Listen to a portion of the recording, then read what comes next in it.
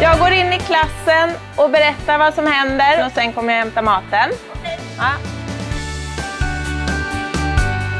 Ni ska alltså laga er egen lunch. Allting står här, vilken utrustning ni behöver och på baksidan så står det hur ni gör.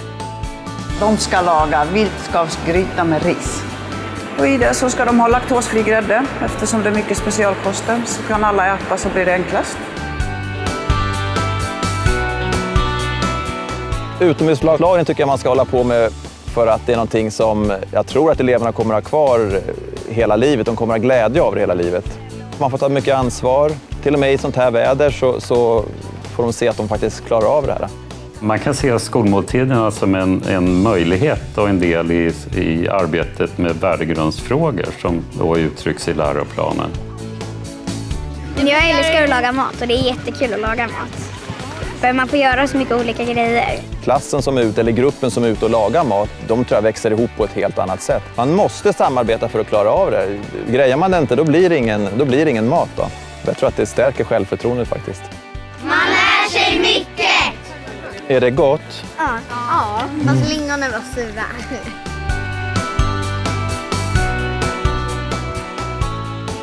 Det här är själva hjärtat av uteverksamheten, där vi har allt praktiskt material.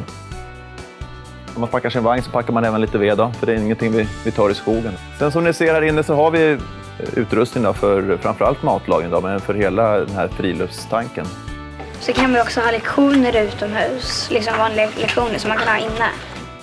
Det är något som vi är väldigt stolta över. Det är våra pedagogiska påsar som vi kallar dem för. Det är skolans eh, samtliga ämnen som vi har stoppat ner i påsarna. Då finns både en beskrivning på övningen och eh, det materialet man kan tänkas behöva. Då. Hämta en kotte som är ungefär en decimeter lång. Sen är det också viktigt att man anpassar dagarna så att eh, faktiskt alla kan hänga med.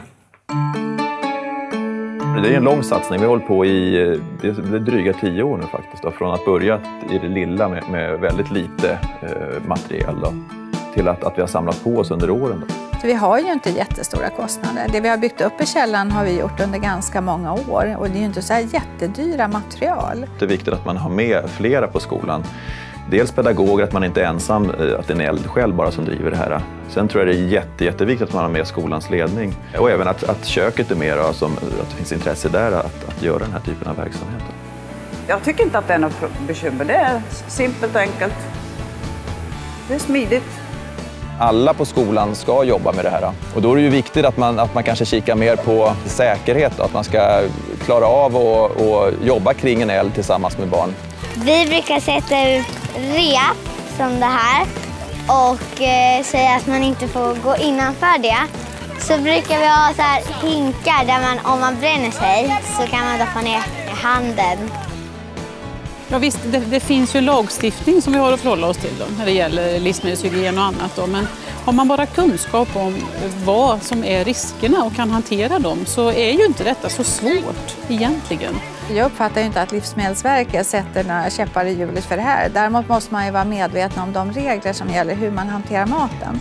Så jag tänker Jana i köket är ju en jätteviktig person som håller koll på vad man får ta med sig och hur man behandlar maten och vad man behöver förbehandla och hur man kyler ner och hela den här. Så man måste absolut ha någon som kan det. Jag håller på att skriva en vår, vår och sommarmeny, alltså till utegänget, och vinter och höst. För det, det har ju att göra med lite grann vad du kan laga ute, för du kan ju inte ta med dig allt. Kyckling tar vi inte med eftersom det är så känsligt. De ska kunna handskas med allt också.